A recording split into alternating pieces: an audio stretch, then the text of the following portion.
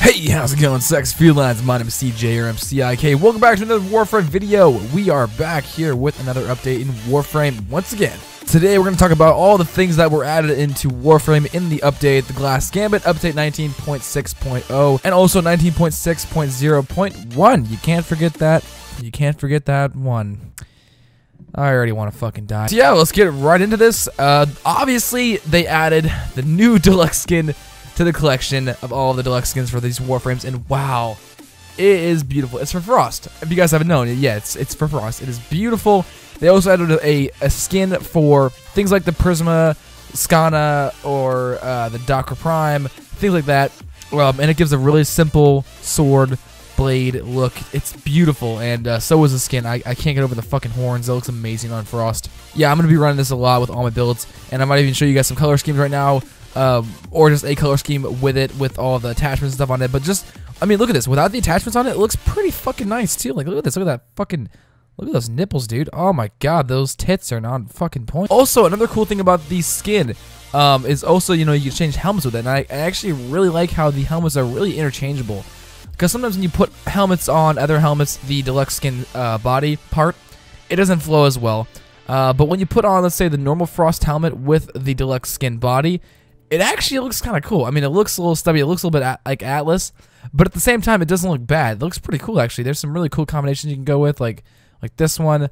That looks pretty cool. I know you guys are like, oh, it looks so fucking stubby his head is shoved into his body. No, it doesn't actually look that bad. It looks pretty fucking cool, actually. Granted, though, the horns are awesome and I'm gonna have to use this for quite a while before I get burnt out. I don't know. Let's see what kind of colors we can get. Oh, yeah.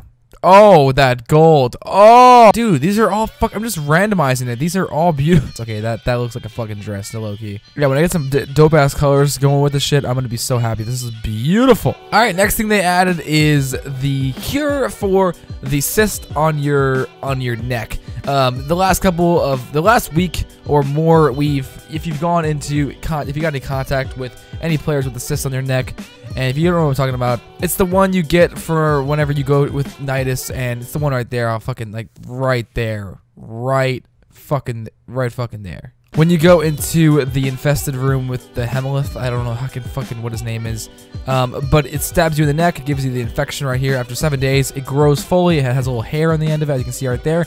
And finally, now there's a cure for it. But I want you to guys remember this is a permanent cure. So if you don't want the cyst to ever be on one of your frames, then do this. But if you want that to happen, leave it there.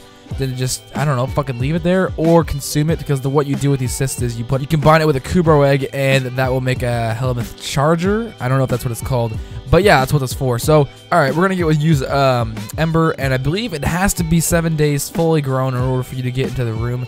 Otherwise, you can't access it. But if that is the case, yes, there you go. So yeah, if the cyst is seven days old on your neck, you'll be able to cure it. It'll take it away and you will not be able to enter this room again with this frame. It, you, don't ever enter this room. You have to either be Nidus or a frame that has the infection on his neck, seven days old. So here we go. We're gonna cure this bitch. Stab me, girl. Oh yeah. Oh. All right. Why did you reject my beauty? I am so sorry.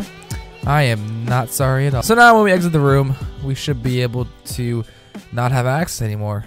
That is correct. So make sure you guys choose wisely which frames you want to keep with the uh, the infection and which ones you want to get rid of. Wait, was that is that everything? Okay. Oh. Okay, yeah, that was that was everything.